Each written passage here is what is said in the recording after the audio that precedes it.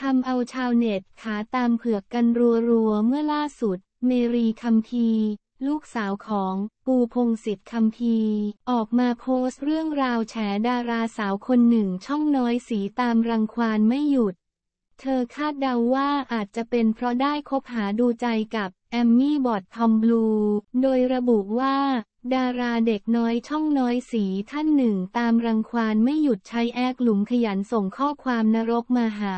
แค่เพราะเป็นแฟนใหม่ของแฟนเก่านางหนึ่งมาคบแอมมี่หลังจากพวกหล่อนเลิกกันไปได้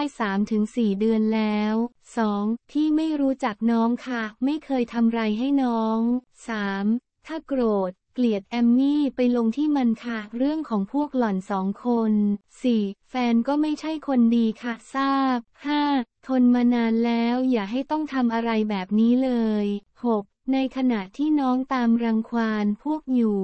น้องก็มีการเปิดตัวแฟนใหม่ละเด้อ 7. สงสารแฟนใหม่น้องค่ะ ถ้า not for fun ก็ make it real หน่อยค่ะ 8. ถ้าเหตุผลที่ทำแบบนี้ทุกครั้งคือเพราะเมาแอลหรือไปเมามา ก็ไปนอนไม่ก็บำบัดค่ะ 9. หน้าจอน้องดูดีนะคะ ห่วงอาชีพตัวเองเถอะ ถ้าน้องทำตัวดีๆ น้องน่าจะงานรุ่งกว่านี้ 10. แฟนใหม่น้องก็ได้ทั้งเล่นหนังนักเลงดังทำงานศิลปะปังศิลปะปังพากันดึงขึ้นไปสูงสูงค่ะ อย่ามาทำตัวต่ำกับ